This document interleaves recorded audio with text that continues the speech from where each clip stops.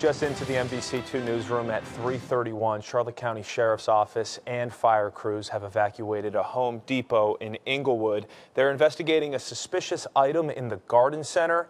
Out of precaution, the bomb squad is also on scene. And keep in mind, this is not far from the Domino's that was held up at knife point. We told you that story and showed you the man accused of doing it at the beginning of the show.